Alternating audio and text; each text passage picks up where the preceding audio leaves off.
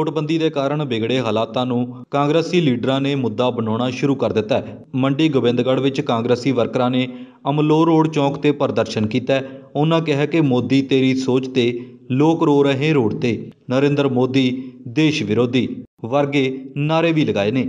ਹਲਕਾ ਅਮਲੋਹ ਦੇ ਵਿਧਾਇਕ ਕਾਕਾ ਰਣਦੀਪ ਸਿੰਘ ਦੇ ਦਿਸ਼ਾ ਨਿਰਦੇਸ਼ਾਂ ਤੇ ਸੜਕ ਤੇ ਉਤਰੇ ਕਾਂਗਰਸੀਆਂ ਨੇ ਪ੍ਰਧਾਨ ਮੰਤਰੀ ਮੋਦੀ ਦੇ ਫੈਸਲੇ ਤੇ ਆਪਣੀ ਭੜਾਸ ਕੱਢੀ ਹੈ।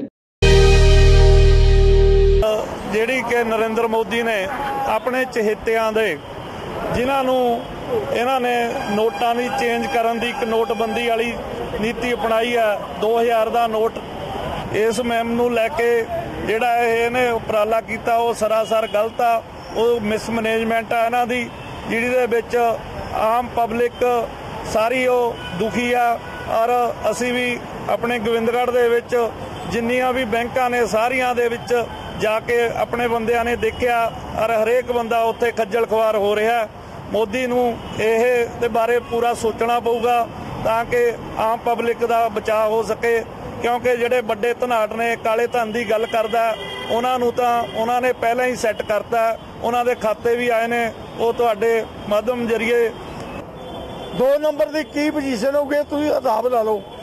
ਅੱਜ ਲੋੜ ਸੀ ਬਈ ਲੋਕਾਂ ਨੂੰ, ਗਰੀਬਾਂ ਨੂੰ ਚੱਕਣ ਵਾਸਤੇ ਉਹਨਾਂ ਦਾ ਮਾਣ ਮਰਿਆਦਾ, ਇੱਜ਼ਤ ਰੱਖਣ ਵਾਸਤੇ ਮਿੱਲਾਂ ਦੇ ਵਿੱਚ ਜਿੱਥੇ ਗਰੀਬ ਆਦਮੀ ਨੌਕਰੀ ਕਰਦਾ ਹੈ, ਦਫ਼ਤਰਾਂ ਦੇ ਵਿੱਚ ਖੁਦ ਬੈਂਕ ਮੁਲਾਜ਼ਮ ਜਾ ਕੇ ਉਹਨਾਂ ਤੋਂ ਨੋਟ ਲੈਂਦੇ ਉਹਨਾਂ ਕੋਲ ਕਿਹੜਾ ਦੋ ਨੰਬਰ ਦੇ ਪੈਸੇ ਆ? ਦੋ ਨੰਬਰ ਵਾਲਾ ਕਿਉਂ 4000 ਲਊ? ਉਹ ਕਰੋਨਾ ਦਾ ਚਲਾਉਂਦੇ ਆ। ਇਹਨਾਂ ਨੇ 6 ਬੰਦੇ ਸੀ, ਇਹ ਗਿਣ ਲਓ, ਮੋਦੀ ਦੇ ਨਾਲ, ਜਿਨ੍ਹਾਂ ਨੂੰ ਇਸ ਖਬਰ ਦਾ ਪਤਾ ਸੀ ਵੀ ਇਹ ਨੋਟ ਬੰਦ ਹੋਣੇ ਨੇ। ਕਰੋਨਾ ਦੀ ਤਾਦਾਦ ਚ ਰੁਪਈਏ ਪਹਿਲੇ ਹੀ ਚੇਂਜ ਕਰ ਲਏ ਗਏ। ਜਿਹੜੇ ਵੱਡੇ ਵੱਡੇ ਘਰਾਣੇ ਸੀ richest man of the India ਉਹਨਾਂ ਨੂੰ ਸਾਰੇ ਰੁਪਈਏ ਦੇ ਕੇ ਮੁੜ ਕੇ ਇੱਥੇ ਵਾਰੀ ਆਈ। ਹੁਣ ਹਰ ਇੱਕ ਬੰਦੀ ਬੈਂਕ ਆਟੂ ਕਪੜਾ ਕਰਦੇ ਨੇ। ਜਿਹੜੇ ਹੋਰ ਨੇ ਵਿੱਚ ਵਿਚੋਲੇ, ਉਹ ਹੋਰ ਕਪੜਾ ਕਰਦੇ ਨੇ। ਤੁਸੀਂ ਪੈਸੇ ਲੈਣੇ ਆ, ਇੱਕ ਸਕਿੰਟ ਚ ਬਾਜ਼ਾਰ ਚਲੇ ਜਾਓ, ਦਲਾਲ ਫਿਰਦੇ ਨੇ। ਜਿਹੜੇ 30000 ਰੁਪਇਆ ਲੈ ਕੇ 70000 ਤੁਹਾਡੇ ਹੱਥ ਤੇ 1 ਮਿੰਟ 'ਚ ਬਦਲ ਕੇ ਦੇ ਦੇਣਗੇ ਤੁਸੀਂ ਕੋਈ ਲੈਣ 'ਚ ਖੜਦੇ ਨਹੀਂ ਕੁਛ ਨਹੀਂ, ਉਹਨਾਂ ਕੋਲ ਨੋਟ ਕਿੱਥੋਂ ਆਉਂਦੇ ਆ? ਇਹ ਸੋਚਣ ਵਾਲੀ ਗੱਲ ਆ।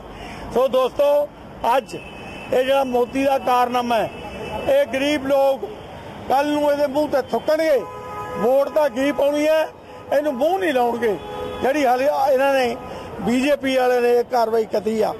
ਤੁਸੀਂ ਦੱਸੋ, ਜਿਹੜਾ ਮਜ਼ਦੂਰ ਹੈ ਗਰੀਬ ਹੈ ਉਹਦੇ ਕੋਲ ਦੋ ਨੰਬਰ ਨੇ, ਇੱਕ ਨੰਬਰ ਦਾ ਹੈ ਨਹੀਂ।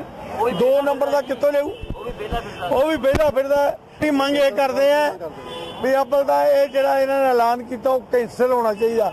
ਕੋਈ ਵੀ ਨੋਟ ਆ ਜਿਹੜਾ ਪੁਰਾਣਾ ਚਾਹੇ ਨਵਾਂ ਉਹ ਮਾਰਕੀਟ 'ਚ ਚੱਲਣਾ ਚਾਹੀਦਾ। ਉਹ ਲੋਕ ਇੱਕ ਦੂਜੇ ਦੀ ਆਈਡੀਆਂ ਫੜ ਕੇ ਇੱਕ ਬੰਦਾ ਹਜ਼ਾਰਾਂ ਰੁਪਏ ਇਕੱਠੇ ਕਰਕੇ ਤੁਰ ਜਾਂਦਾ।